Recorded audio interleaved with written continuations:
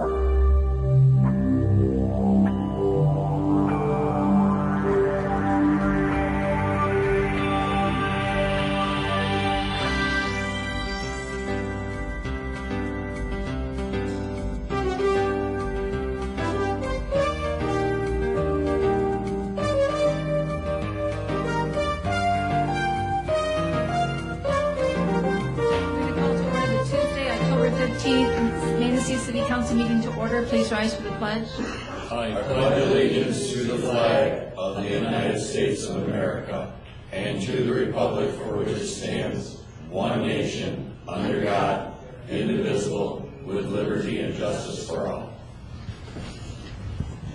Michelle, can you please take the roll? Mayor Kenny, Here. Councilmember Cody, Here. Councilmember Hornpool, Here. Councilmember Goodspeed, Here. Mayor Pro Tem Zering, Here. Councilmember Adams, Here. City Manager, Here. City Attorney, Here. DPW Director, Here.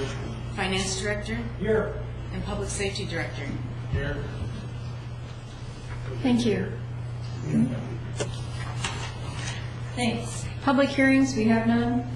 Citizen comments and agenda-related items. This is the portion of the meeting. If there's anyone in attendance who would like to comment on tonight's agenda, please come forward. Please state your name and address. Is there anyone in attendance who'd like to comment on tonight's agenda? Seeing none, we'll move on to the consent agenda. All agenda items marked with an asterisk are on the consent agenda and considered by the city manager to be routine matters. Prior to approval of the consent agenda, any member of council may have an item from the consent agenda removed and taken up during the regular portion of the meeting. Consent agenda items include approval of minutes, approval of payroll, monthly bills, notification regarding next work session. Is there action to approve the consent agenda? I'll make a motion, the council to take action to approve the consent agenda as presented. I have a motion by Councilmember Hornville, support by Councilmember Goodspeed to approve the consent agenda as presented. Is there any discussion? Seeing none, will you please take the roll?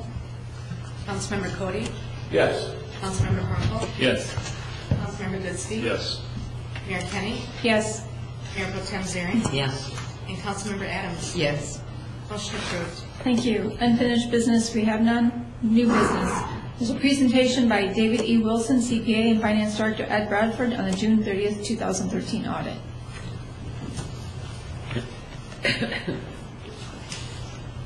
I am Dave Wilson and work with Ed. And we have in the past and are this year doing the presentation back to back with me emphasizing the audit and with Ed emphasizing the numbers. The audit opinion is, as stated at the beginning of the audit, a single audit opinion, which I'm going to spend just a couple of minutes on because this is not the same kind of an audit that you have with a normal financial audit.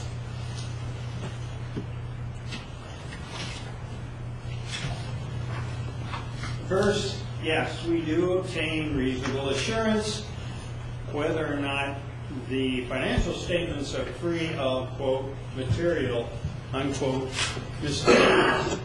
Now, you may think that material misstatements mean that maybe it's 10 or 15 cents off. No, these are in the 30 to 40,000 dollar range. We didn't find anything wrong, but when it talks about material, these are big numbers. They're not little. Secondly, a reasonable basis. In other words, we looked at not just the numbers. We look at the numbers, where they fit, how they're categorized, what they mean, and are they presented fairly in every reasonable way. Again, we get into this concept of reasonableness and materiality. Okay, am I saying they're right? No. Am I saying they're reasonable and pretty well correct? Yes. In reality, we had no adjustments to speak of at all. Okay? Therefore, it comes down to a clean or unqualified opinion. In our opinion, financial statements referred to in the above present fairly, again, emphasize the word fairly in all material respects, the financial condition. and Manistee, obviously, we have no problem with that side of the coin.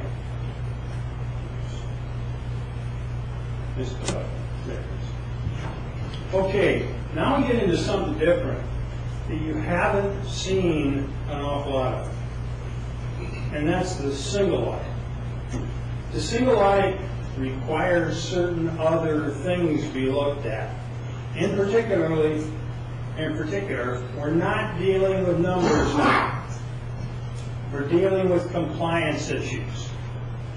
Federal government is a lot more worried about you complying with their laws, rules, and regulations than they are with um, uh, how you really spend your money. As long as you meet their rules, you're in compliance, everything's okay. So, still conducted in accordance with auditing standards, but we really look at compliance and internal controls. In a normal audit, we're saying we didn't see anything wrong. In a single audit, we are looking at internal controls. It is basically risk-based. So, the lower the internal controls, the higher the risk. And therefore, the worse we have to audit. So it's risk-based, and that's very much present in a compliance type of audit. We found no deficiencies in internal controls. Is everything perfect? Goodness, no. Do we make corrections verbally while we're in the audit? Yes, we do. But were there's anything worth writing up that was significant? No, there was not. There were no instances of non-compliance. Okay, so we've got a clean audit, no instances of non-compliance, and no deficiencies in internal control. Three major items, all of which in the city of Manistee are clean. Why is it a single audit? Basic rule, five hundred thousand dollars in expenditures, okay? Now, it doesn't mean income, that's in expenditures during the year. Why were you single audit this year? One reason, your CDBG, your Community Development Block Grant, which was three hundred thirty thousand dollars, which surrounded the Bluefish Restaurant. Now, how much compliance do we have to worry about? None. It fed through the city. The city had no authority over much of anything. The money came in, the money went out, but we have to report it. It must be reported through a government agency. That's the reason you see it. And the rest was pretty well FEMA and EPA.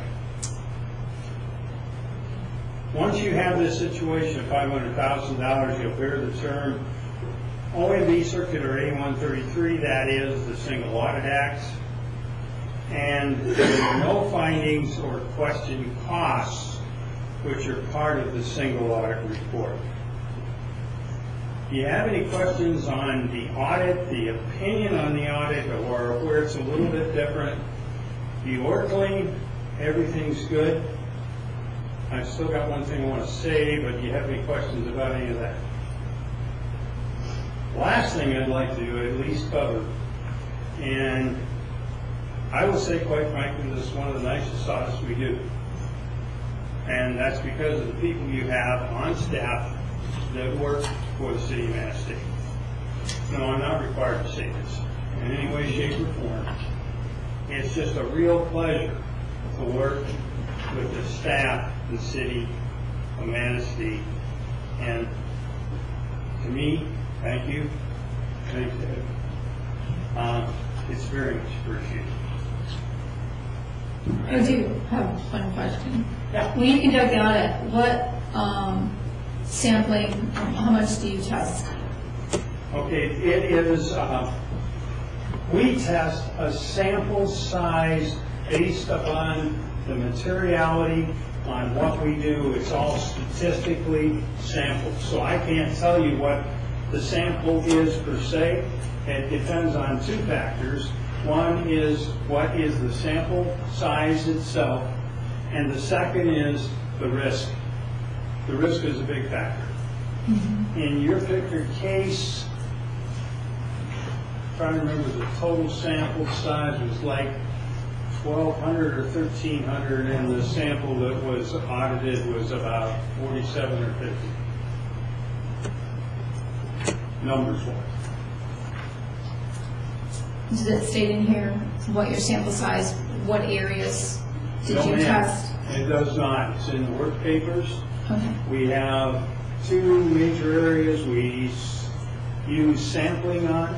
One is your uh, disbursements during the year.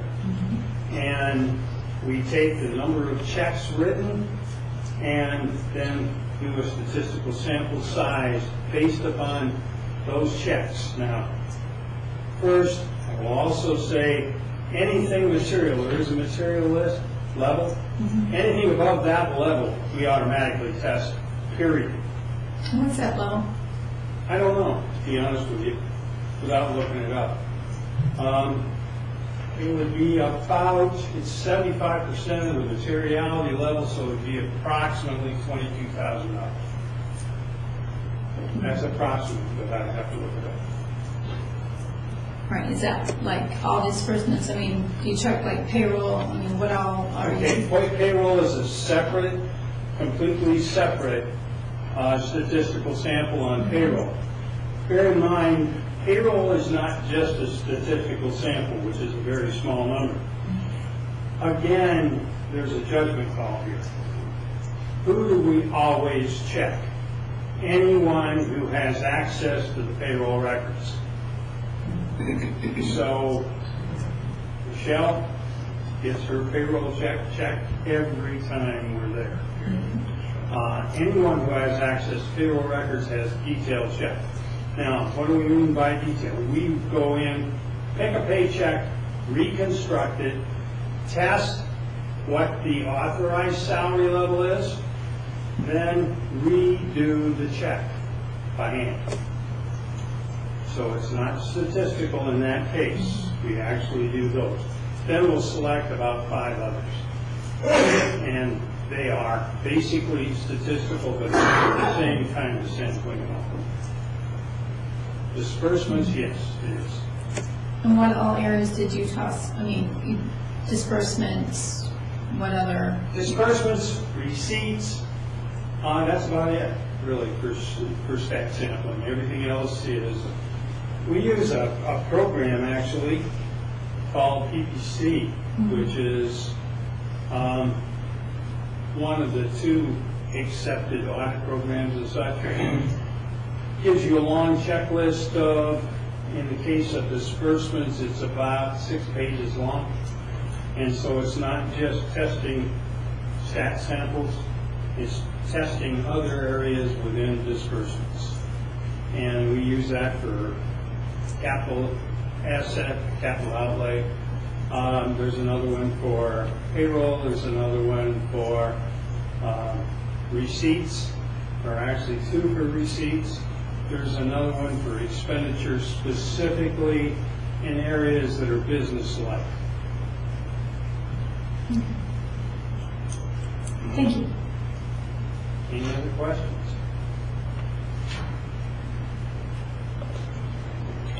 Thank you very much. Um, In your packet, I had given you the audit and a memo from um, my office with some pretty detailed information about the different funds and then also the actual uh, detailed financial reports for those particular funds that the memo discussed off of our accounting system.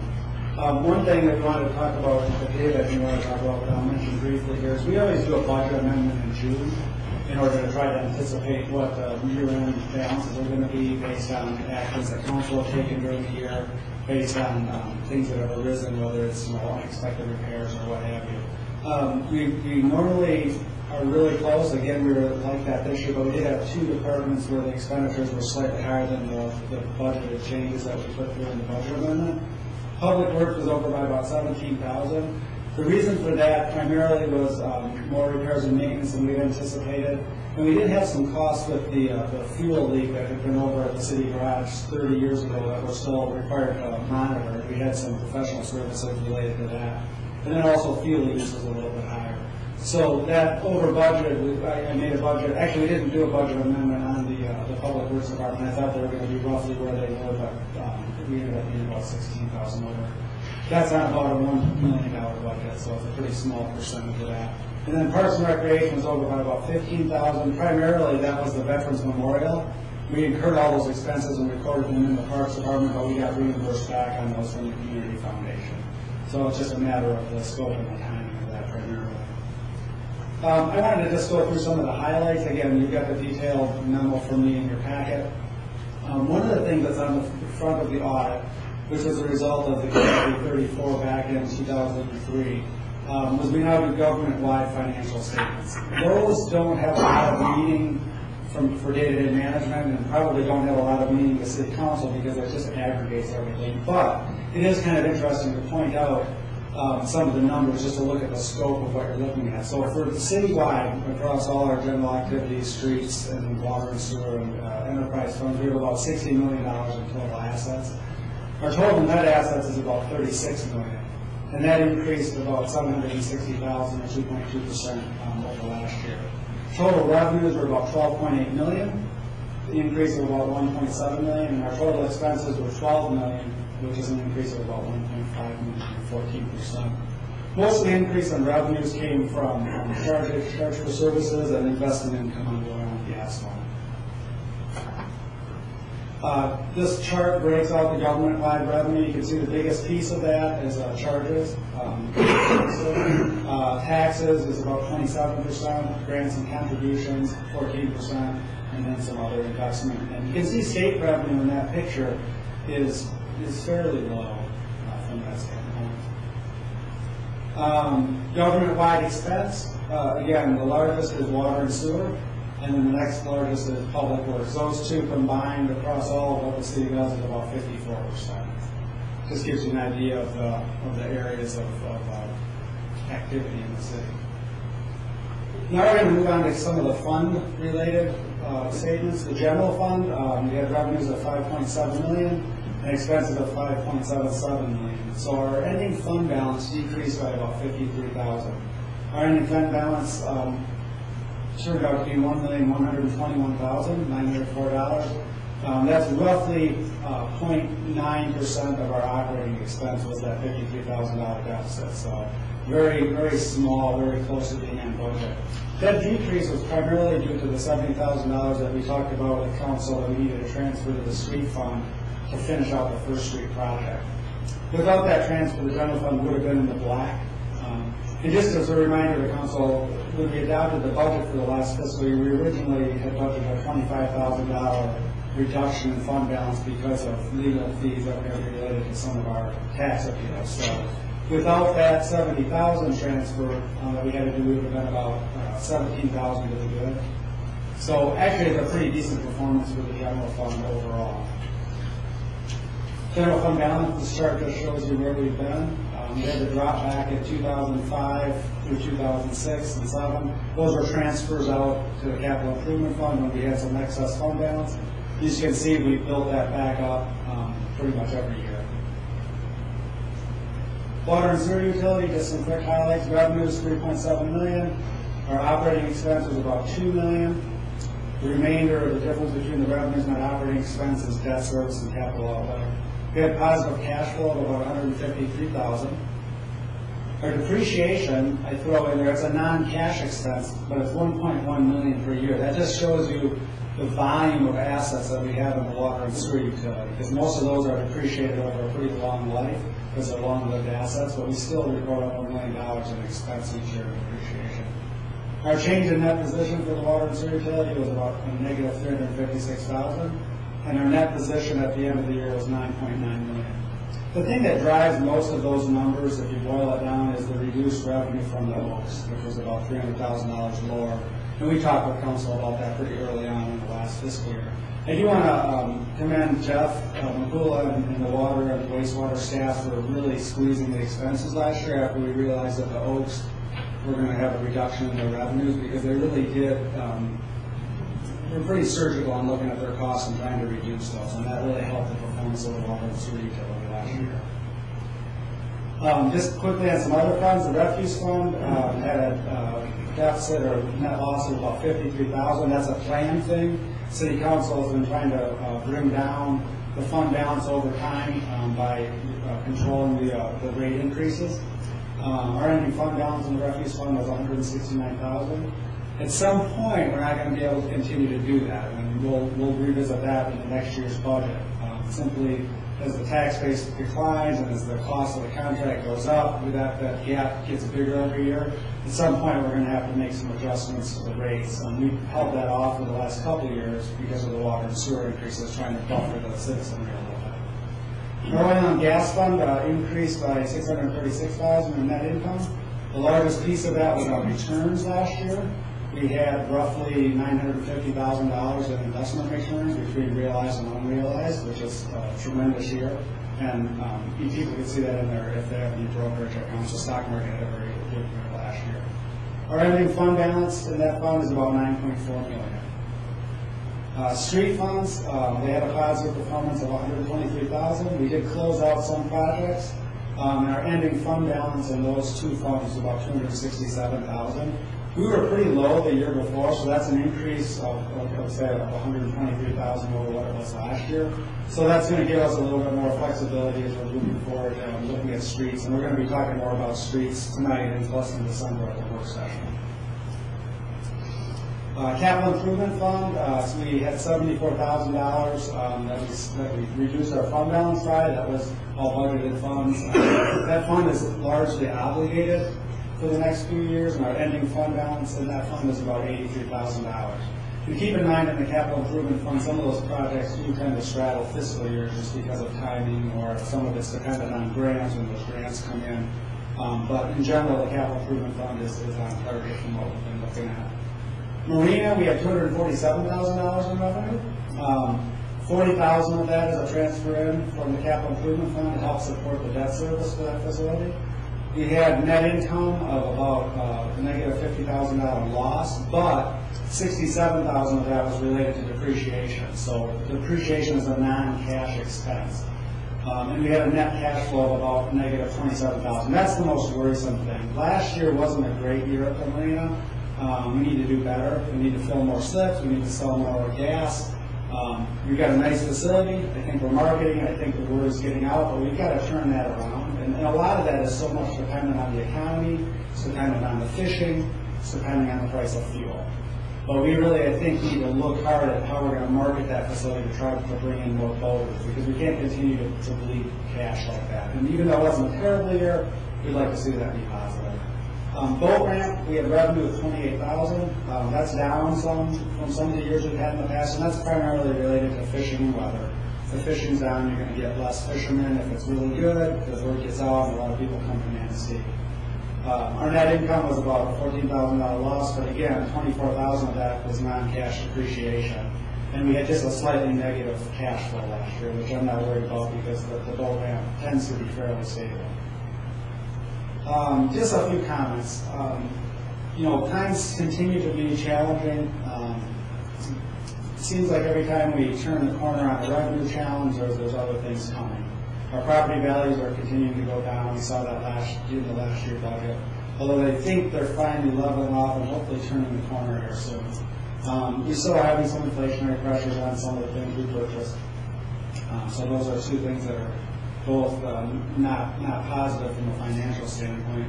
And then there's a lot of ongoing uncertainty still. Um, personal property tax loss is going to be looming in the next budget year. Um, healthcare, you know, what's going to happen with that, and water and sewer revenues and ability to fund needed items. We need to keep uh, looking at that and being diligent about that. Um, as we do every year, and, and we'll continue to do and did last year, we identify budget variances to council throughout the year, and um, all the department heads are pretty good about scrutinizing their expenses. And we have thoughtful discussions about the size and scope of the city services through our white papers and our financial projections and the budget process, and then looking at cooperation and collaboration where we can. So overall, last fiscal year, I think was, given the financial uncertainties out there, was think a pretty decent year. Anybody have any questions? Thank you.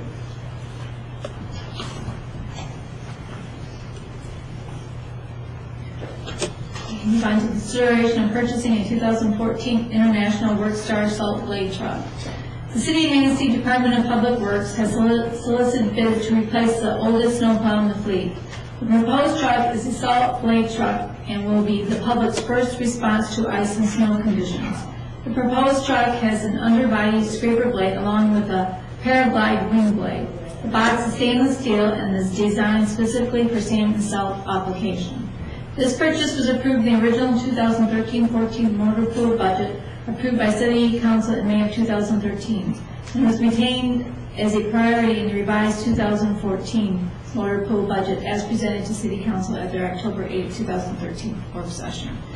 Is there a motion to approve? I'll make a motion the council take action to approve the purchase of a 2014 International Workstar 7400 from Wheeland Sales in the amount of $154,479 and further authorize entering into an installment purchase agreement for West Shore Bank.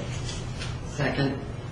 I have a motion by Councilmember Hornsel, support by Mayor Pro Tem Zaring to approve the purchase of the two um, International Work Stars reform. Is there any discussion? I just have one, uh, you have to remember that West Shore Bank is a little bigger, one point three three percent, so I think that's a pretty good uh, deal for the city. Yeah. Nice. Oh, and no extra fees. No,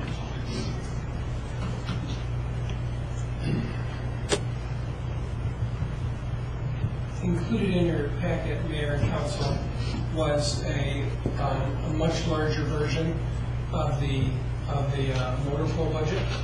Um, If there are any questions you would like answered regarding that uh, updated motor pool budget, uh, before you act on it, we'd be happy to try and answer those questions.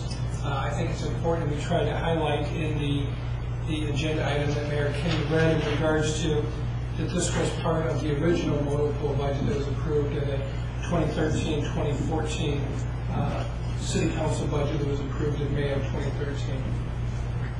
But just What's the asset life on these trucks? Jeff?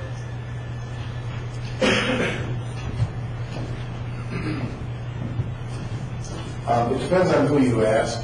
The the dealers tell, tell us 16 years is when we should be planning out the replacement of these vehicles. Um, In the asset, or in the motor pool plan, we've actually budgeted for 20 years replacement. So we would like to get on a schedule. We've got 10 of these trucks, and we would like to get on a two-year cycle where every two years, we're able to replace those. There are four trucks that are right now, three of them are 20 years old, and one of them is 21 years old. And I can uh, testify that those trucks, when they get to that age, are, are in need of severe maintenance, and they're in the shop and not out on the streets doing the work they need to do during the winter. You know, when we look at this schedule, going out to year 2017, we're taking in a lot of debt for replacement. Please.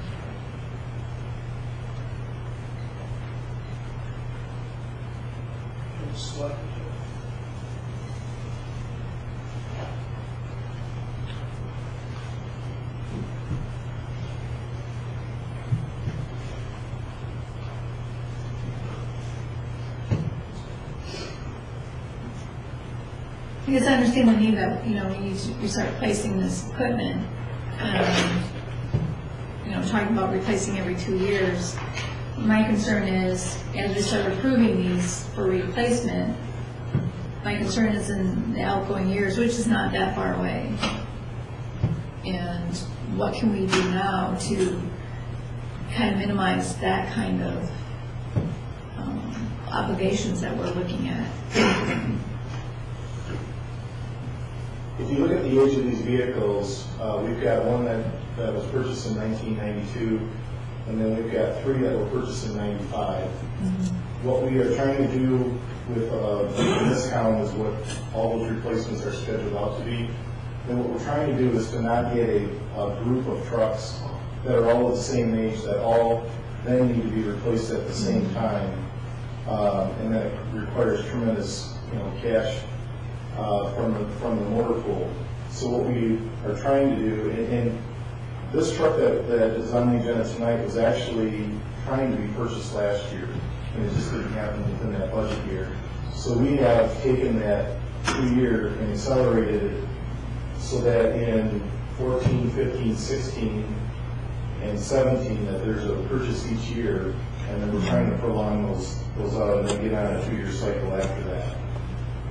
I understand that, and I understand tonight's, but I guess my concern is the outgoing years and what we can do now and maybe adjust it so we're not hitting ourselves so hard. in 2017 is really not that far away.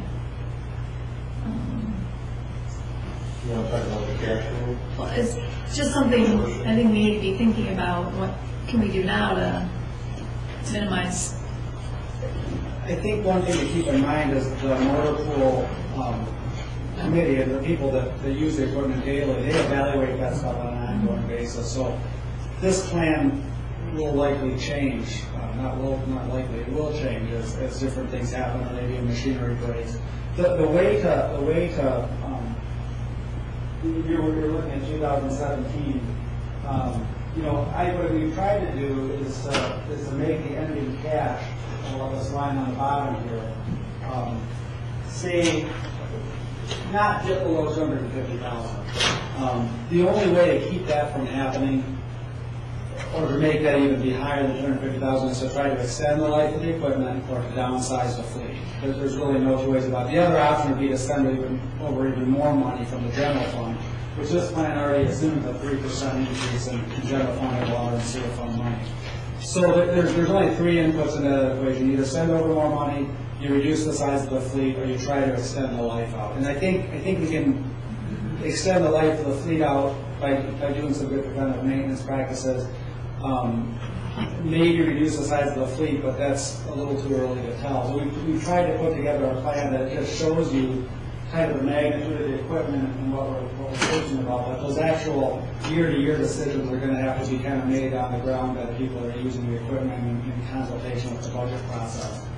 Um, One of the things to keep in mind too, this, this, uh, anytime you go out twenty years or ten years on an analysis like this, is extraordinarily sensitive to inflation rates, to interest rates, to the estimated cost. You can change these numbers dramatically by changing your assumptions a little bit. We've tried to do reasonable assumptions, but who knows what the economy is going to be, what the interest rates are going to do. If- If interest rates, if we have a really in inflation, you got to redo all these numbers, and you do have to make some other adjustments. If the Federal Reserve keeps the interest rate really low, then, then maybe you have some more flexibility. But, I mean, they definitely maybe speak to the size of the fleet, but, but that would be something that D and B would, would basically have to make that determination moving forward.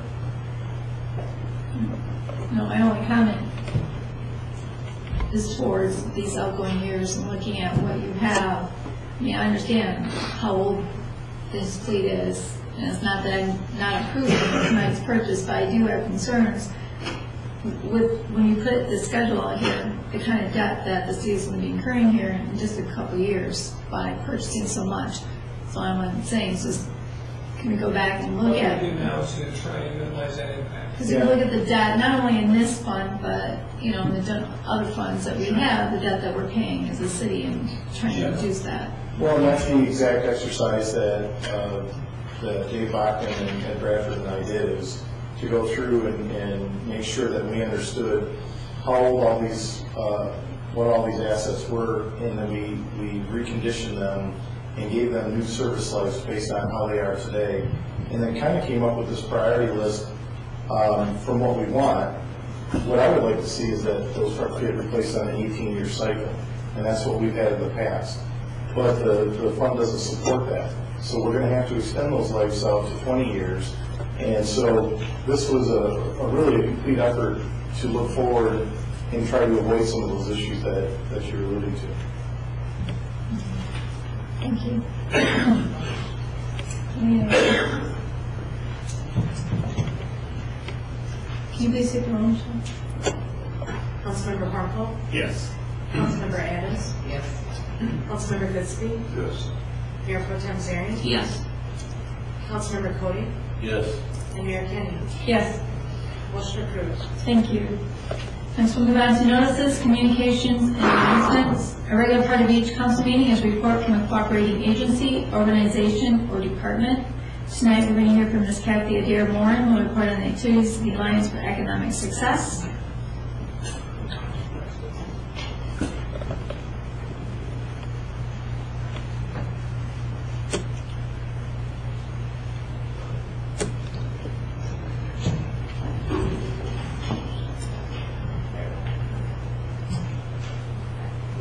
Uh, Good evening.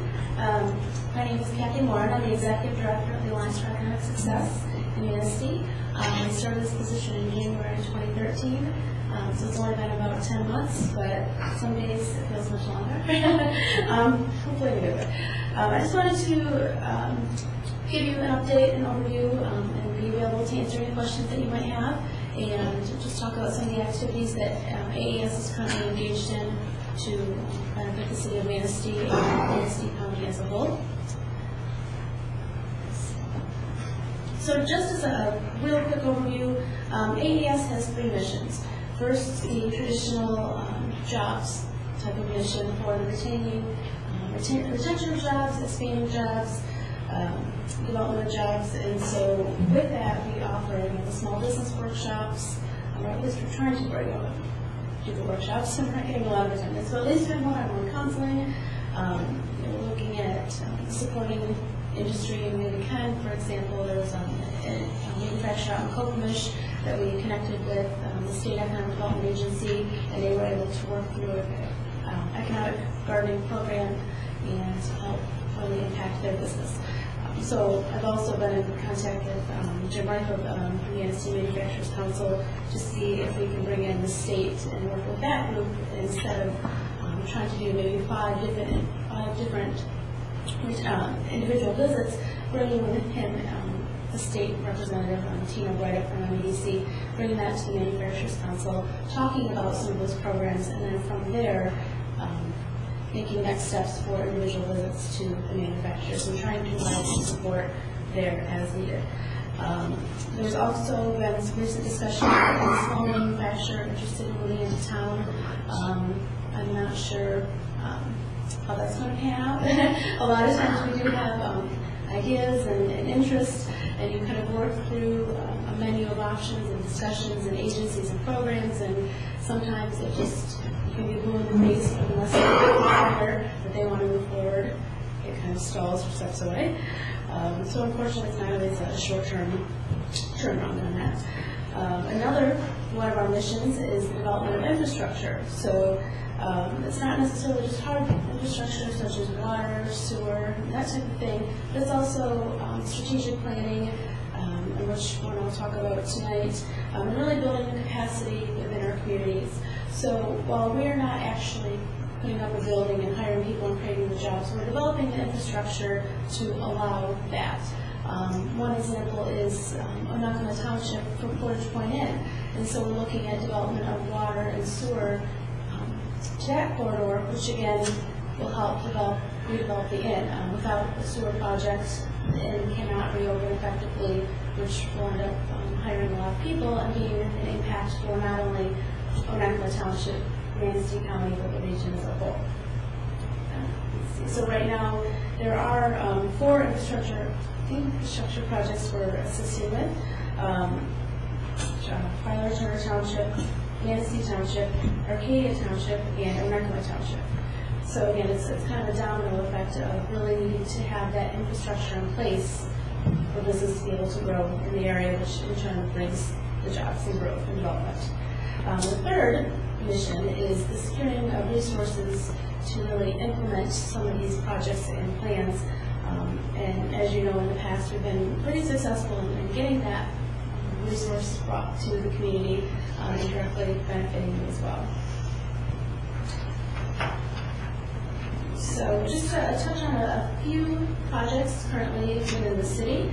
Um, as Ed referred to, actually the marketing for the harbor um, and the marina, we were actually, just met with the Harbor Commission today for um, a second session. We created a draft strategic plan, it's the first time they've done it. And so that was really meant to be a subset within the city's strategic plan. So not to replace it, but how can the Harbor Commission further the goals of the city's strategic plan? Um, I think it's, it's off to a really great start and quite encouraging. Um, the marketing and cooperation is really a key part of that. Um, one piece, for example, working um, cooperatively with Onekama and Arcadia, and as a county, the three of, um, the three ports working together in conjunction with the Visitors Bureau to really highlight the ports and and the activities, the harbors that we have here. Um, So I think by looking at that harbor commission plan, um, it really kind of prepares them to look a little more forward thinking of what do we want to accomplish as a commission and how are we going to get there? And what are different ways we can look at to improve our facilities? So I think that's just a first step. Uh, we have to go back and revise a draft a little bit more, which is good because we added more to it. Um, and then I'm sure it will come before you um, within a few months after the harbor commission um, approves it. So, um, and I think there's been discussion, if it's successful, that there may be um, other opportunities with other commissions within the city to look at another plan. It was a very short plan, five, five pages, um, just kind of, just making sure everybody's in the same direction moving forward. Um, Another project we are looking at um, is the River Park condo project, I know it's been um, sitting there for quite some time. However, quite recently, we've been talking with um, the MEDC, the Michigan Economic Development Corporation, as well as Initiative the Housing, um, looking at brownfield uh, redevelopment. So reviving the project and really um, hoping to start pursuing that a bit more to get some things, you know, get the ball rolling on that project. Um, So once we get moving on that, um, the support of the city will be definitely key when when the time comes for that. Um, Also, part of the River Park- Park condo area is the North Corridor project, which I talked about last time I was here. Um, Kind of the corridor, Washington, Memorial, around that area. Um, Beckett Raeder last year had done a study that we were able to se- secure grant funds for. Look at that, that area as a whole. Um, And so I'm in the works of developing another, say develop, I'm starting another meeting to look at maybe some improvements to the Veterans Memorial area. And also some discussions about the North Channel outlet. So there is a little, you know, some activity going on there. Again, as you know, it doesn't happen overnight, um, but there are definitely things in the works on those. Let's see. Another is the um, downtown recruitment and um, Main Street DDA Economic Restructuring Committee. Um, I'm part of that. Uh, Mitch is also working with uh, me, well, Mitch and I, and then um, Susan Riley from Century 21 um, have created a, a subcommittee to look more specifically at some downtown recruitment, trying to get a little more aggressive to fill some vacancies. Um, Main Street, at the state level, can provide uh, market research and data, which we can also get from my small business counselor, of what are some of the um, deficiencies. So, for example, when Bluefish Kitchen was approached, um, Travis was able to take a study to them and say, hey, look, we have data that shows you know, I think it was a $12 million food and beverage leakage. So, you know, we, food and beverage leakage, leakage is kind of a weird term to use.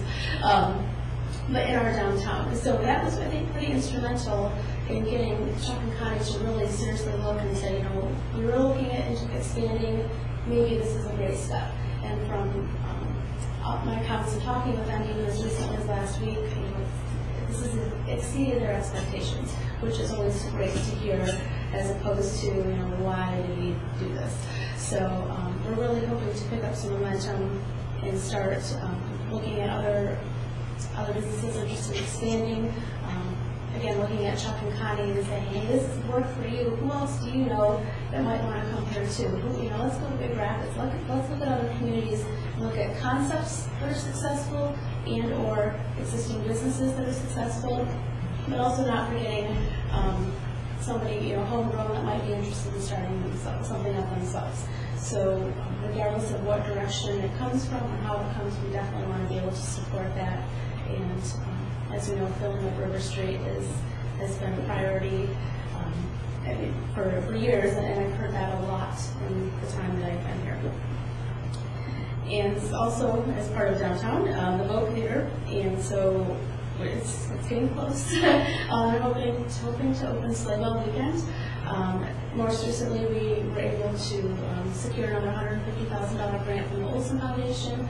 Um, there's other grants, things in the works, um, and so Beth Wallace has been retained to, I don't know if been- have met her, um, but she's been retained to work through some larger fund development gifts, such as, um, you know, not just twenty-five dollars here, but more of twenty-five thousand, to really move this forward. So she's been doing a lot of tours, um, I would encourage you, if anybody's interested, to take a tour. Um, just the transformation of that building has been incredible. They've got drywall up, they're really, um, getting it, so you can see some shape now of what's gonna happen. So, um, it- that's, that's been quite exciting So.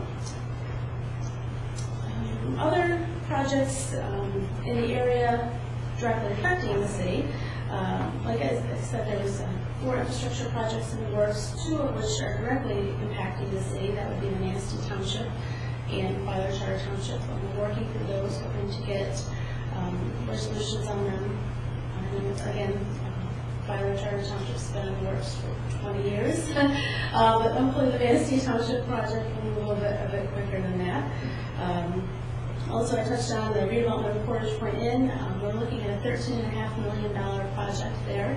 And again, just because it's not directly in the city doesn't mean it won't positively impact um, the community. We're looking at um, redevelopment of the hotel, all the food and beverage, all the outbuildings, um, marina. It's going to be quite a significant project. Um, And again, you know, even during the harbor commission discussions, and uh, harbor a marina, uh, you know, a functioning marina at Portage Point Inn will only benefit the community and the region as a destination for voters along our lake shore. Um, See, the Lakes to Land Regional Initiative, um, the city's been involved in that, but that is um, a cooperative effort between, it's about 15 to 16 municipalities between Manistee and Benzie counties. Um, The tribe is also unofficially participating, they've been, participating but not as an official on paper participant. Uh, But that has been um, fantastic as far as getting um, updated master plans. Some communities, these smaller townships, didn't even have planning commissions. Um, So they've really been making a lot of strides in that. Uh, Most recently, the initiative's awarded $115,000 through uh, the State Department of Treasury to look at some unified zoning language um, across the borders, as well as an agriculture innovation district, so focusing on the food processing and agriculture um, really prevalent in our region. Also, really, another part of that, very, very recently, in the past week or so, um, working with the Michigan Department of Ag and Rural Development, MDARD, um, on some um, agriculture education and and kind of getting kids and younger generations excited in agriculture. And it's such a huge part of our area.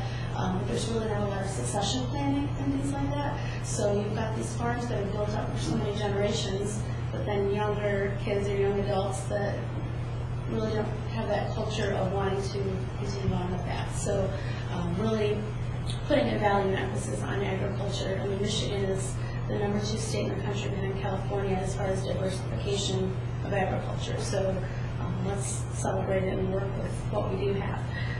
So um, as part of the Land Regional Initiative, the city of Manistee has a visioning session on November 21st. I'm not sure if that's just planning commission or is that I I believe it is just. just planning, okay, so it's mostly planning commissions that have been working with it. Um, They'll be working with a session and a survey, and, um, and then Beckett Raeder will get them the results for, for that. So, um, while some communities have had, again, full-on, um, master plans for the first time, it's just, it's varying levels depending on the community and needs. Um, the city of Manistee and the planning commission as you can imagine, we're much farther ahead in experience and education and knowledge than a lot of the other communities participating. So they didn't need as much handholding as some of the others.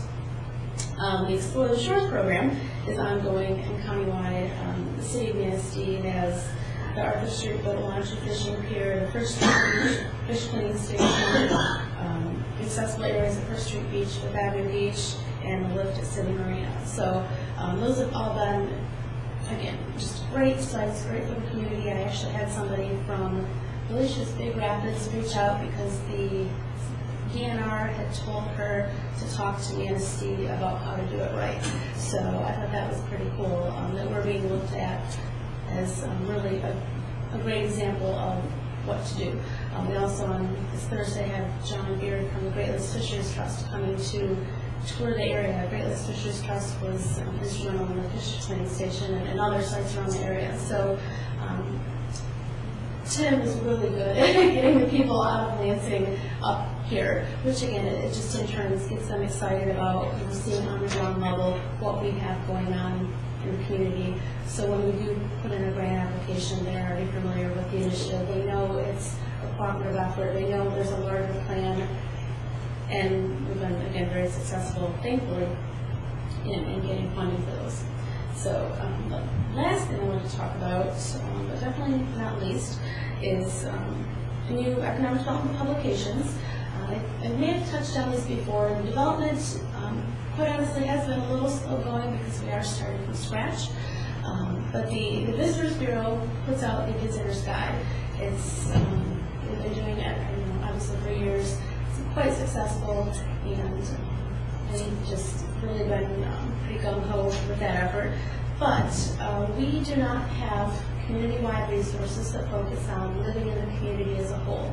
So uh, we don't have a consistent resource information that talks about our educational system and our healthcare system and what it's like to live here. I mean, we have a fantastic publication about living here, but you know, we want to convert those visitors to living here and working here. So um, cooperatively, we developed this live publication and you know about local industry, what it's like to live here, and then also work. The other concept is uh, resources regarding starting a business and navigating the red tape of when do I go to City Hall and talk to Denise for zoning, or what if I'm in Manistee Township, or when do I go to the county clerk for DDA, or what's the health department's role?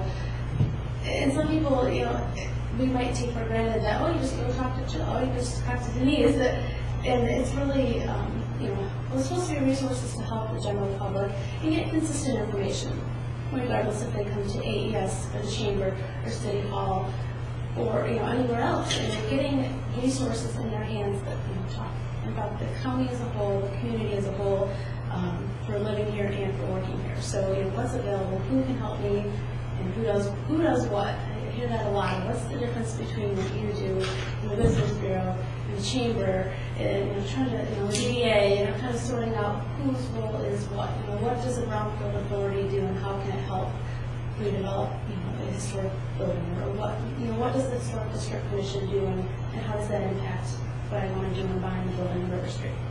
So we're really trying to hopefully um, simplify, clarify, and just get a comprehensive resource in people's hands and get them excited about living here and working here and being in the community. So um, the Visitors Bureau publication will be available in December, um, and then their usual schedule. And the Live and the Work publications, we're looking at um, first quarter 2014. And then those, all three will be in digital versions. Um, the Visitors Bureau posts theirs on their website, but they will also, um, all, all three publications will end up being on Visitors Bureau website, um, the new website that AES will develop that really focuses on this. Um, and really, again, cross collaboration between you know, city, chamber, AES, county, and really just trying to be um, consistent, comprehensive, make it as easy as possible regardless of somebody how, regardless of how somebody arrives in, in Manistee. So, um, I think that is all I have. I know I talk a lot and I get excited about this. Sorry.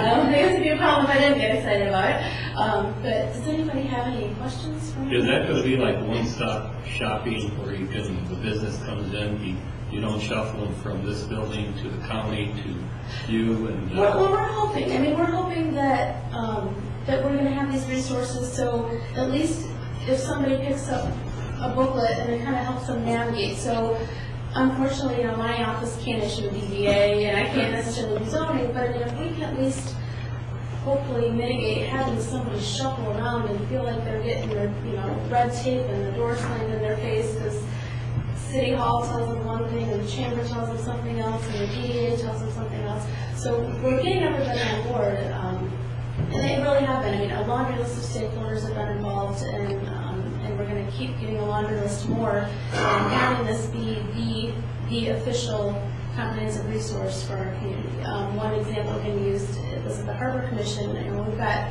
these great people coming to visit.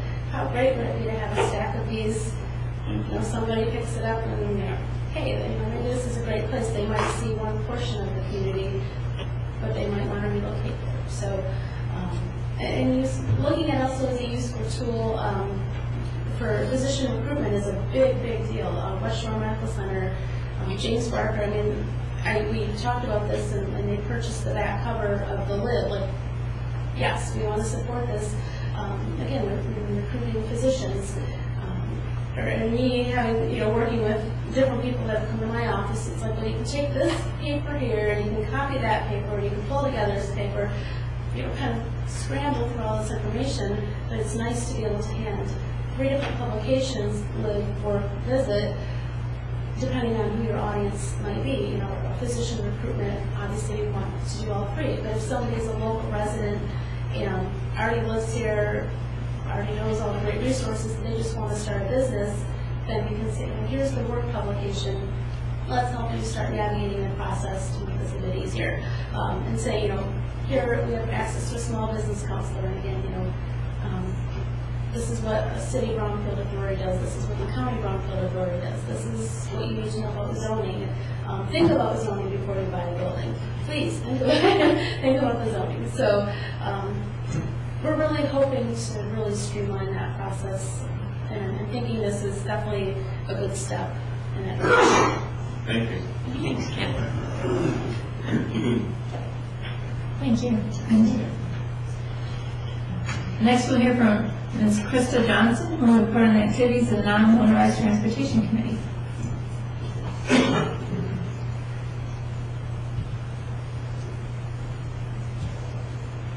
this is the AES. Come here with us. So,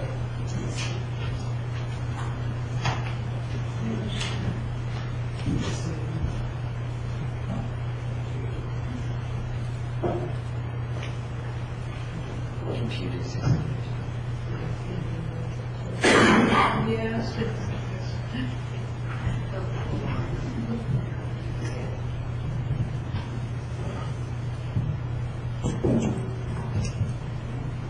Good evening, Council, Uh, Madam Mayor. I'm here, I'm Krista Johnson, I'm the Chair of the Non-Motorized Transportation Committee, and I'm here to give my annual report.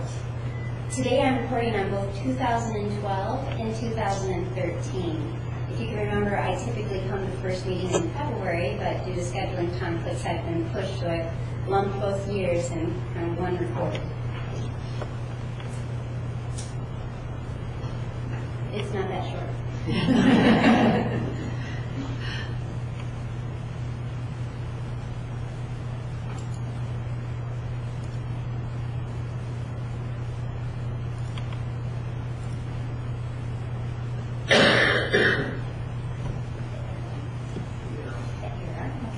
So in 2012 and 2013, some of our highlights were um, that we worked on was the non-motorized trail park. Um, we hosted a fourth and a fifth annual Ham It Up Week, a second and third annual Labor Day Bridge Walk. We worked on planning and policy improvements, uh, conducted a sidewalk survey, and applied for PAC awards again. In the non-motorized trail park, that's the trail park out on uh, M55, it's the 173 acre parcel, uh, we were able to get some signage out there. Here you can see Ken Blakeyshell, he's the head of that, this project, and uh, the sign that's at the trailhead, uh, and it's contiguous with the signs that we have throughout the city. We also worked on the pump park development. Here you can see pictures of uh, people using the pump park already. It's still under construction. We were able to recycle some of the clay from the city and, uh, and some dozers and big equipment and shape it. What's really neat about the pump park is that there is no other facility like this north of Grand Rapids. And there's already been people coming up from Grand Rapids area to start using it. How a lot of the work is done is volunteer-based. Uh, There are hosted trailer days. There was just one this past um, Set Sunday, and they're typically four-hour days. And here you can see a group of people, uh, they're walking, they're clearing the debris on what will be a ski trail in the winter, and then it gets mowed down really short so we can use it uh, when when the snow conditions aren't just right. Um, And people of all ages, the support has been tremendous. Uh, In the park, uh, this was one of uh, one of our committee members' dreams. Um, John Rajka, he was lost, or passed away this year, uh, June 21st, and this was really his campaign. He's been on the committee since was founded, and he really led the charge to make sure this got developed for recreational use. Um, I'm pleased that he was able to see a lot of his dream come into fruition, and, uh, and we were naming a trail uh, under his name in tribute. Uh, This year was our fifth annual Ham It Up Week. Uh, It's the third week in May, so it's a repeating event. Uh, Our kickoff is always a 5K. Uh, And this year, we were participating again with Girls on the Run, as we did in the first Ham It Up. Uh, You can see in the top picture there, there's a jazzercise warm-up led by Linda DeVries. She's been there every year and gets everyone pumped up. Um, There's the run start, there's a great turnout. On the lower uh, right-hand corner is uh, members from the Manistee Recreation Association. They help out with the registrations. The race takes place at the high school, um, and there's also a children's race after. And um, this is the cheapest race on the planet. It's ten dollars for an individual, fifteen for a family. All the money is donated back to the school for the track fund. And uh, um, I'm not sure what the total was, but it's you know just short of a thousand dollars that we're able to give them. So it's a it's a event that gives back, and hopefully will keep more runners on the road. Other events uh, have been line dancing. This is a picture from Just Country Kicking. They also have participated every year, and um, they host events year-round on Monday, Tuesday nights to teach people how to line dance. Um, There was hikes at Orchard Beach, uh, bike group rides and time trials, garden challenges, swimming, jazzercise, walk a shelter dog, fishing for fitness, fitness classes both inside and outside in the parks, um, sights and shopping downtown, and Tai Chi among some other events. Here's a brochure. On the front or the left side, you'll see that that's the cover from 2012, but 2013 looked very similar. And on the right is a schedule for 2013. Give you an idea of it's a pretty diverse group of events. We try to spread them throughout the city and try to really let them showcase what the city has to offer for people to become physically active. Uh, school participation, on here, this is a clip, or a picture from a video, so the pictures are not very clear, but one of the challenges to get schools involved with healthy active living was a smart commute in which a lot of the children all got together and they walked downtown where there was uh, music and dancing, but you can see how downtown is just packed with kids. In the video, it's just, they're just having a great time. Uh, Bear Lake Schools, they participated by having a jog challenge, scavenger hunt, dance contest, so reaching people of all ages to become more active. We also had a walk and roll, and unfortunately, we also lost another member this year. Um, Richard passed away in March, and um, and he had been struck with polio when he was young. He brought a whole new aspect to the committee. Uh, he was a campaign person for accessibility. He brought a whole different set of eyes. And uh, unfortunately, he was not here for this, but uh, we were able to present his family with a, a letter of recognition. And the weather was terrible that day, so unfortunately, the walk and roll um, only went under the bridge for the presentation. One of Richard's other um, things that was so absolutely important was the sidewalks. And uh, through his push for that, we were able to um, help a local scout, uh, Nick Vane, fulfill some uh, requirements. He with the Eagle Scouts, and then it was completed further with the National Honor Society. They went and examined every sidewalk in the city, whether it was every every detail. And you can see those are the binders that are Public Works, the amount of information that was gathered. This is a, a, a piece of one of the surveys, and it shows, it talks about the heaving, the slabs, just areas we're missing, the damage. And this is going to be a tool for the city to see what areas are in greater need, where are we strong, where are we weak, and an opportunity to make improvements in the future. We also hosted a Labor Day Bridge Walk. Uh, 2013 was our third, 2012 was our second. And, uh, and it was partnered uh, each year, uh, just under 100 participants. They seem to come no matter what the weather. We've had beautiful weather, we've had cold, awful rain. Um, this helps to uh, continue the spirit of the Mackinac Bridge Day Walk. And we are fortunate we have two bridges, so it's about a five mile walk. We do offer some turnoffs for people who don't want to go the distance. Um, this was tied in with the Live Well campaign that was going on this year, and we had Purecourt Farms offer uh, refreshment stations, and we uh, went down the Riverwalk, hit some downtown, covered the bridges. It's uh, it's very well received. Here is uh, on the left, you'll see the front page from the 2012, and you can see on the right uh, the map from the 2013 walk. The Promoting Active Communities is the award program that we've participated uh, since 2004. Um, there are three components of evaluation.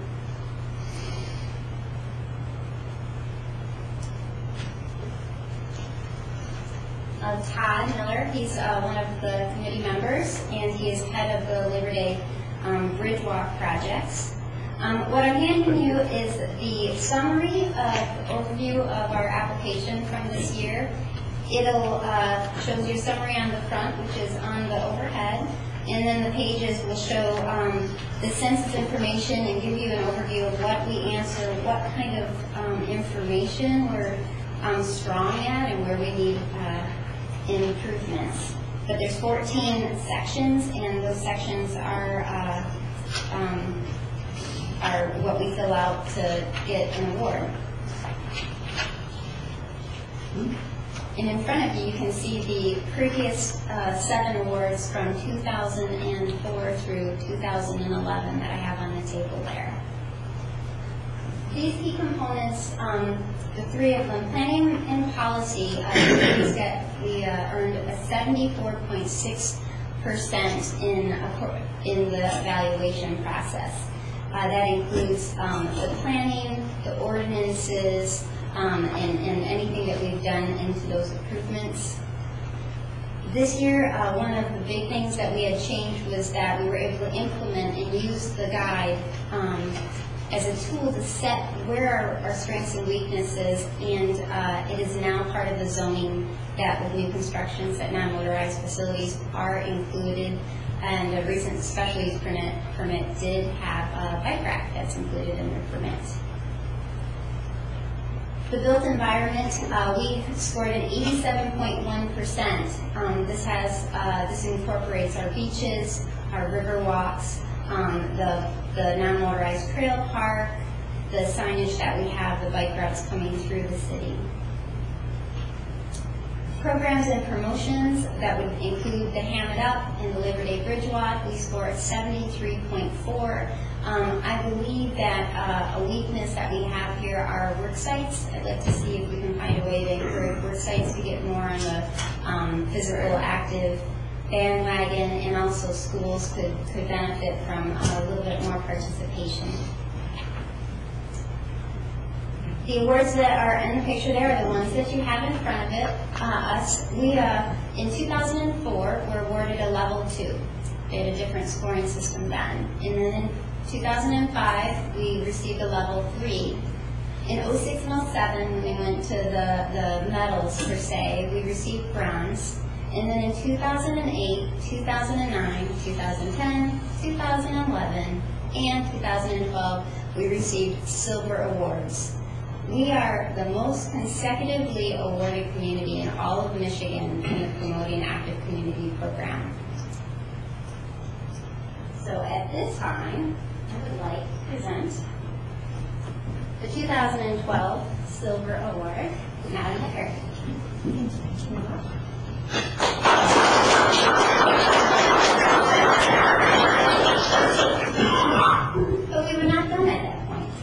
Mayor. asked for gold. And in 2013, we applied again. But now with the planning and policy changes, we got gold finally.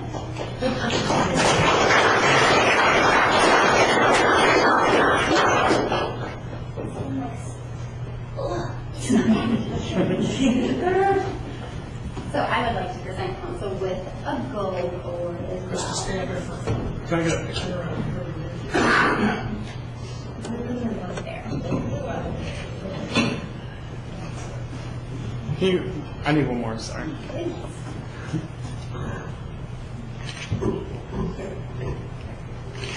Just told me I had five minutes. Five minutes is left. I know. Okay. We have lost yet another member this year.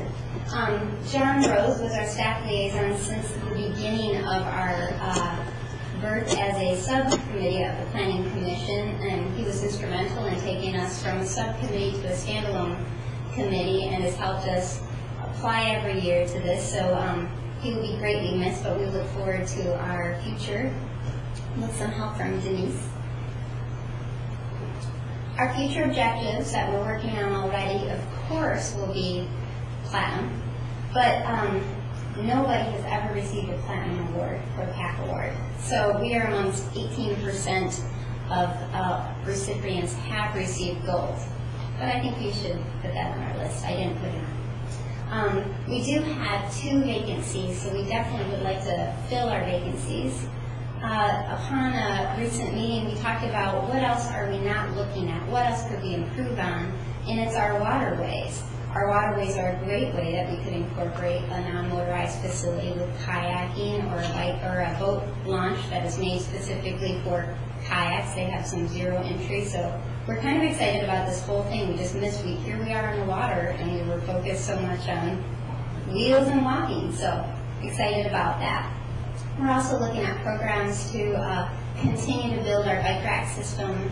Uh, Ludington has more artistic bike racks. You're seeing them crop up in all of these other communities, so we certainly don't want to be left behind, so we're looking at some options. Um, we also, this summer, uh, were able to host a training wheels program because of the facilities we had and the staff that we had to draw this program in, and we're hoping to implement some of the things that we learned through that program. Uh, and that's two years uh, of report over five minutes. I'm so sorry. Are there any comments or questions? Ms. Krista, I want to thank you and your team um, for the work that you do. The amount of awards that are here is directly attributed to your work. These really are your trophies. Um, They may say the city of Manistee, but they should say the Non-Motorized Transportation Committee. Um, So we really do appreciate all the hard work, and we look forward to getting the platinum award. I promise we'll work. Thank you. One of the, one of the things that Krista identified was the sidewalk report. That data that was generated from uh, Nick Bain, which was his Eagle Scout project, became an Eagle Scout, but that was his project. Uh, Nick is a senior at Manistee High School right now. Um, We are incorporating that information into our RoadSoft data, which will be part of our overall sidewalk slash street asset management plan. So the information that Nick has generated will be um, carefully and painstakingly entered into our RoadSoft program, and is currently working on that right now. We have an individual who's going to help us uh, enter that data, and then that information will be used allowing us to make better decisions on sidewalk maintenance in the future. Thank you. I just have one thing, you know, with five members, uh, you, you, your committee has taken on a lot, and I really got to commend you for what you've done over the last, uh, you know, number of years. And I hope uh, somebody will step uh, forward and fill these two vacancies. I hope that the loss of our other vacancies or other members doesn't scare people. I really don't look them that hard.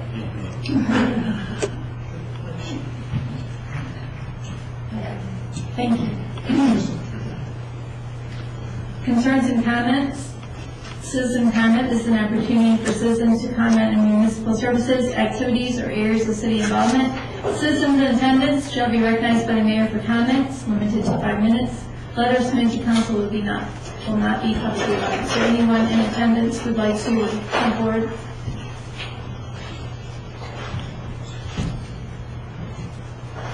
Yes, please come up to the microphone, state your name and address. Hi, my name is Michael Terry. I'm the executive director of the Ramsdell, uh, let's call it Theater and Cultural Center. We'll try that out, kind of start working on the branding. And I was asked to come to talk today a little bit about my first 30 days and what I've been up to. Uh, most of the time I've been spent uh, transitioning from the leadership of the finance office to my office. So I've been taking over the scheduling, the booking, I've gotten into the marketing of uh, Metropolitan Opera. And Mitch did say I could have up to the length of the Metropolitan Opera telecast.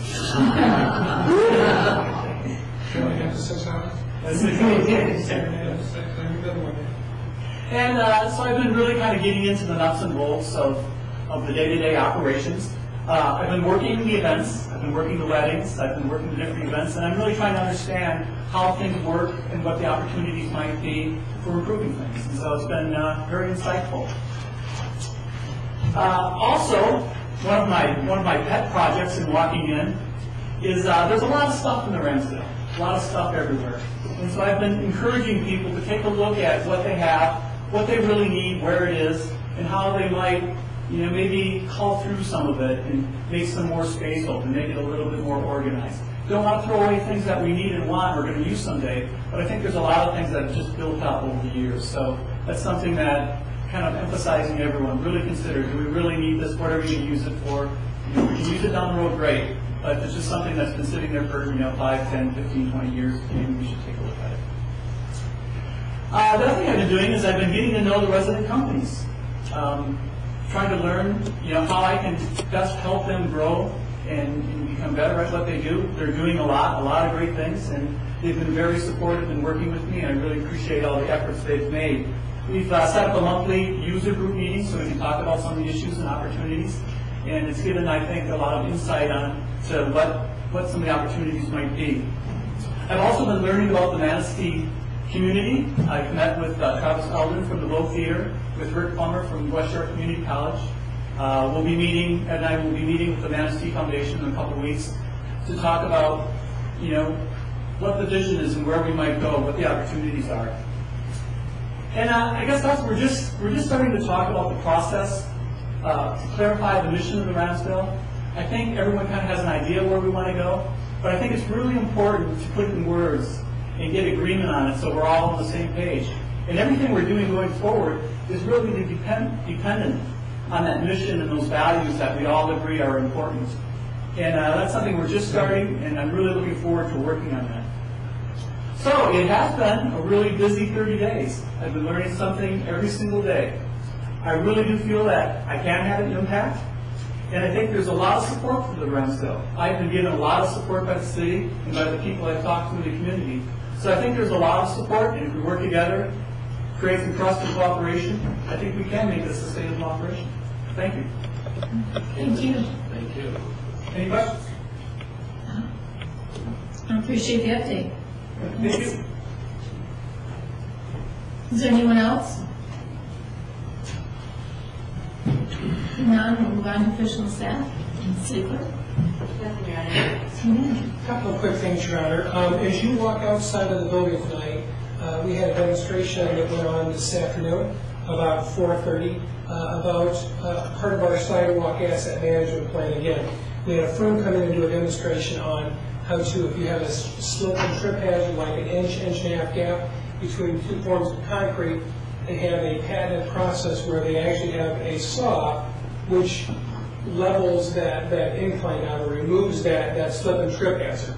Um, we had that demonstration done today. It's right out front of City Hall, so please look at that on your way out. It's on the top step by the railing. There was about an inch to an inch and a half gap, and you will see when you go out there how they have trimmed that down, if you will. Um, Jeff and I took some video, so if you'd like to see some video, we have it over here also for you. But again, just take a look at that your, as your way out.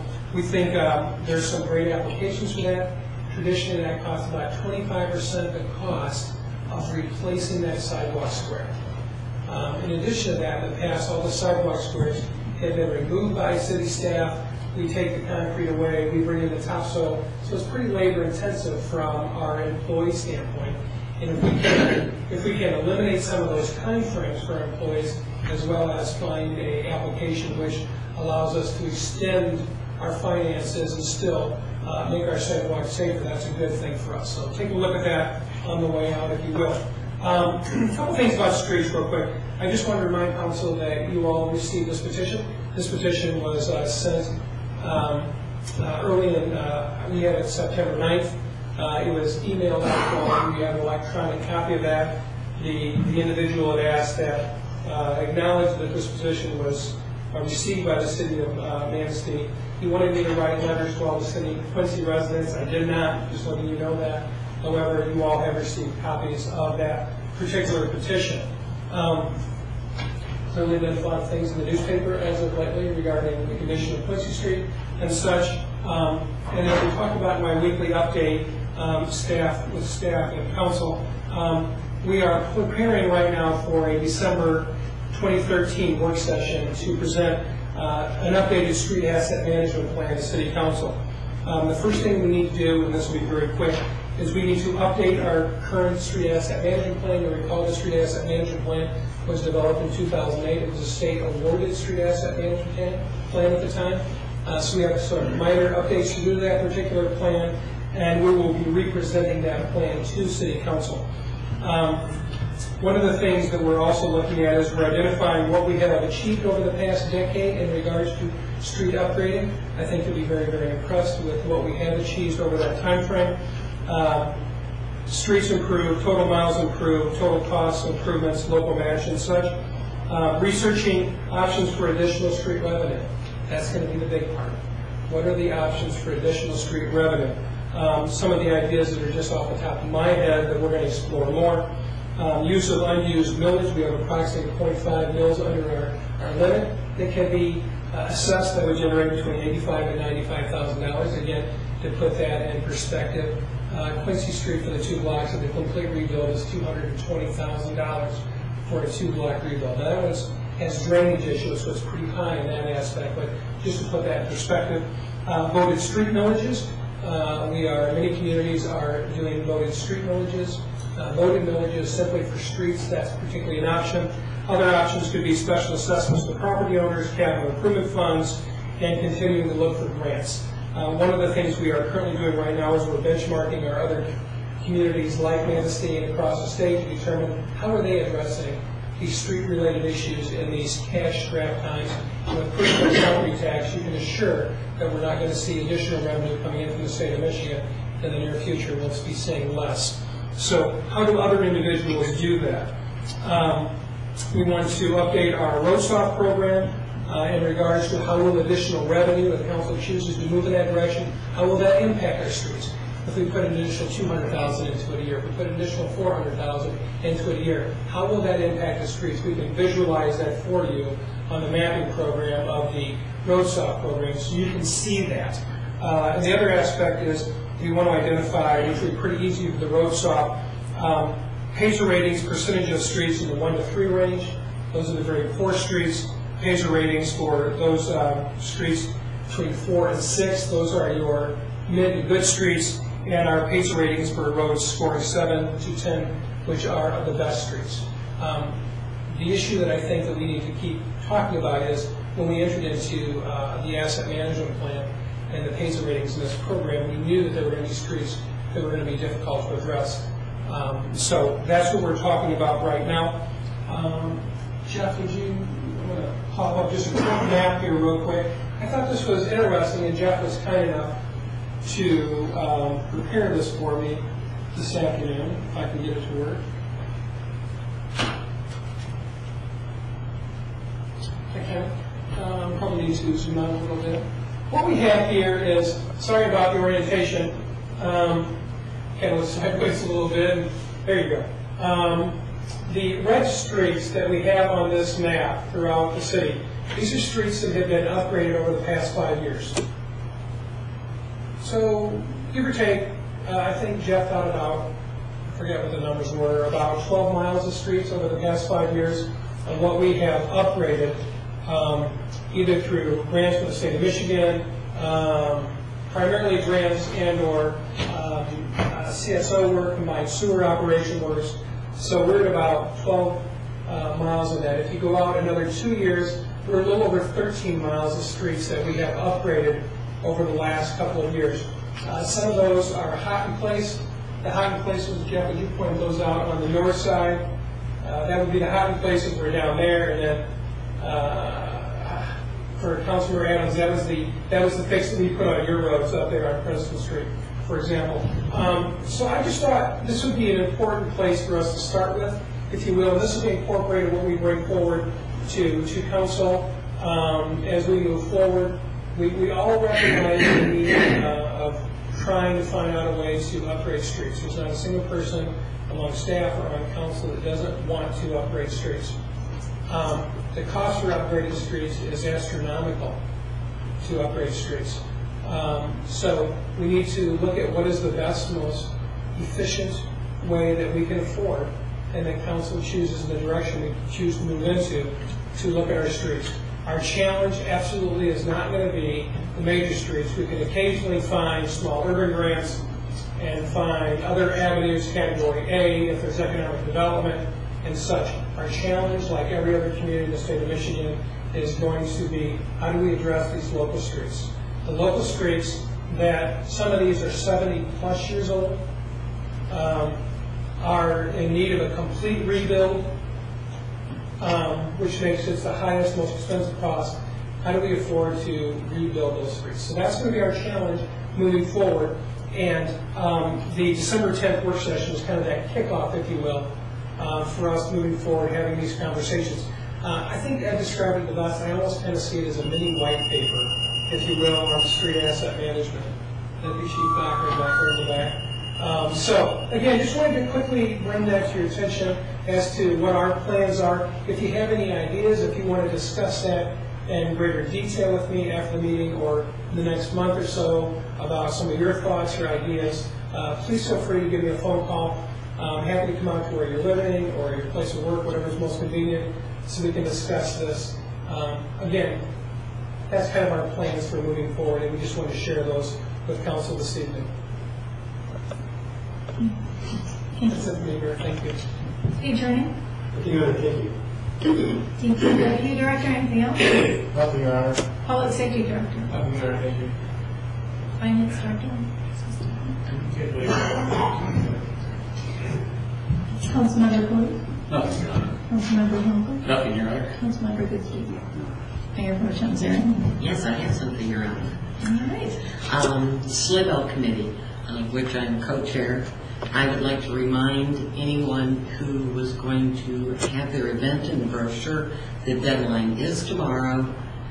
I can extend it out to the end of the week if necessary.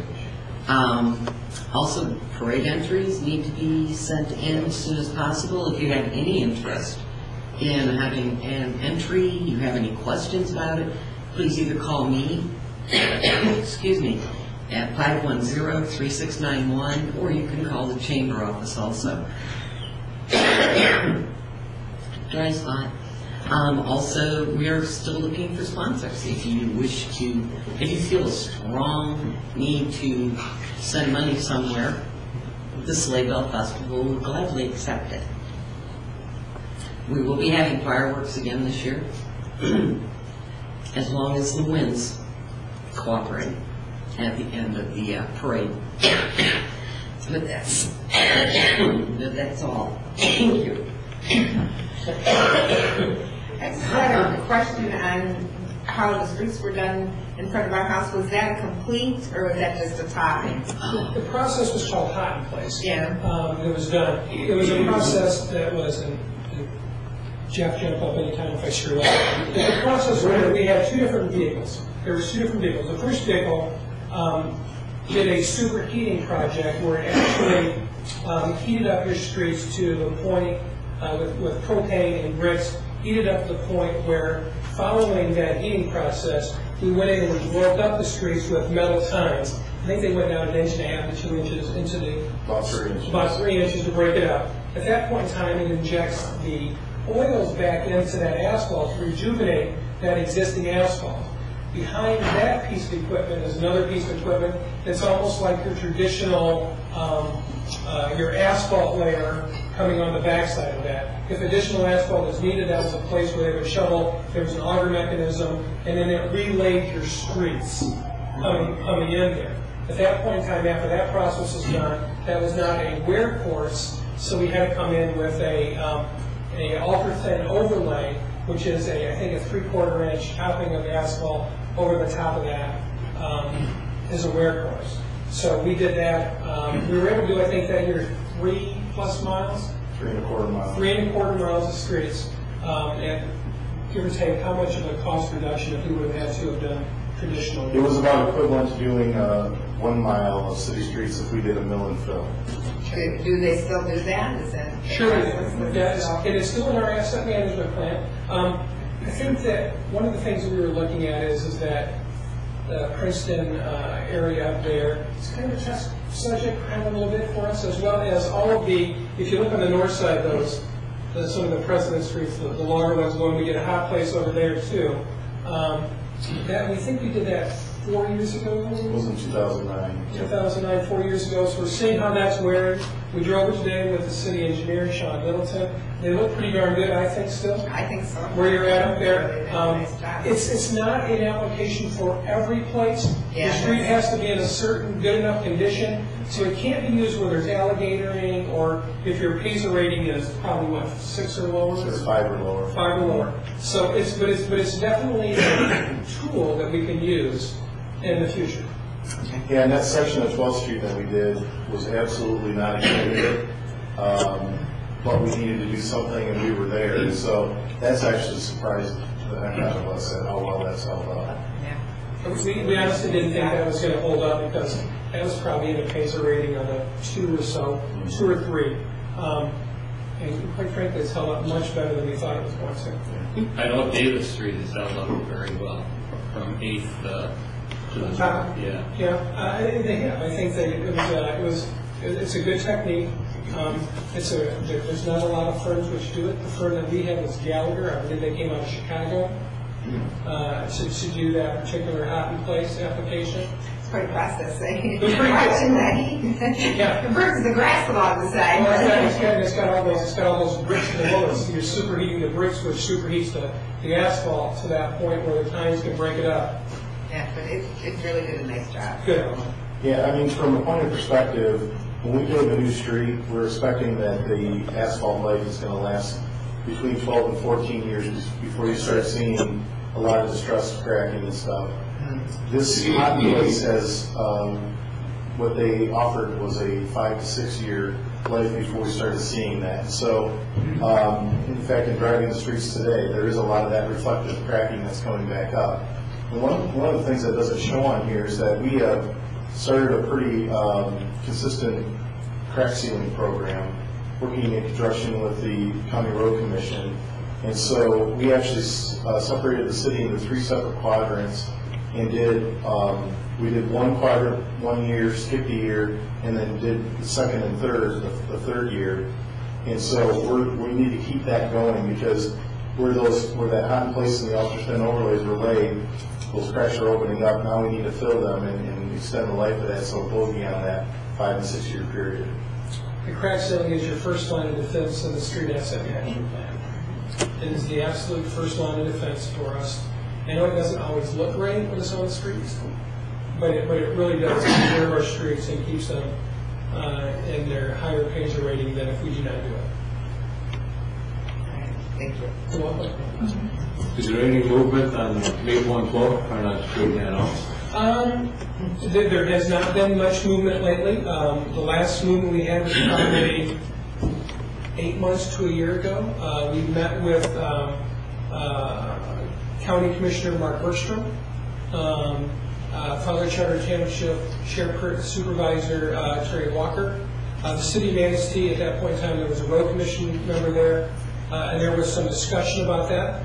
Um, the last discussion that I recall is, is that the two property owners, there's three property owners there, if you will, that are in Filer Charter Township. One is the, uh, kind of a landscape, I think it's a landscaping business, which is directly adjacent to the Manistee area public schools on the, the south side right there, that large fenced-in area, directly adjacent to the Mass's property. And then you have private property, private property. All three are located within Charter Township. It's my understanding in talking to Mr. Bergstrom that the, that the large parcel was okay with straightening the road. The two property owners that were uh, along the corner and the next to them um, felt like that that would be taking of their property and they were not supportive of that. And at this point in time, uh, I have not talked to um, Commissioner Bergstrom and nor Mr. Walker about that, but it appeared to die based on some of that provided information back from those residents. Does the road actually belong to the city? It's on our Act 51 road map. Okay. It's actually, the entire road is on the northern half, that jog, not the entire road, but that jog is on the northern half of, uh, of that Act 51 right of way. So actually, those two homeowners are encroaching on, on uh, township property. That is our belief.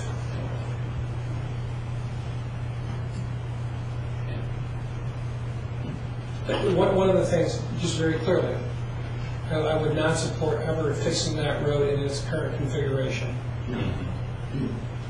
Fixing it out where we straighten it, where it's, we're removing the safety issue for all of our students and, uh, all of our students and, um, uh, parents and teachers and bus drivers who traverse that route, uh, yes.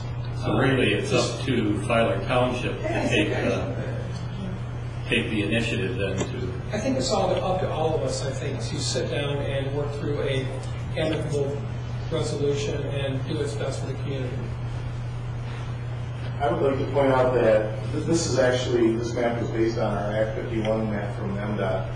And the same scenario occurs between uh, Princeton and Maple Street where Yeah, sure does. where 12th Street is, is, the south side of 12th Street is in the township, and the north side is in the city. But the Act 51 map gives the city responsibility and jurisdiction over that road. The same thing happens on Cherry Road, all the way down to Merkey Road, and then also on Merkey. And on this map, you can see that Cherry Road is, is half in the township, it's half in the city. The Act 51 map gives the city jurisdiction over Merkey Road, I'm sorry, over Cherry Road. On Merkey, half of that, the north half is in the city, the south half is in the township. But through an agreement with the uh, road commission, the road commission maintains Merkey Road, and so they get the Act 51 funding for that. So it's not uncommon for the, for the jurisdictional lines to go down the center, but it's really up to these official maps on who's responsible for those streets. Well, I have nothing, so I'll take a motion to adjourn. I'll support. Meeting adjourned.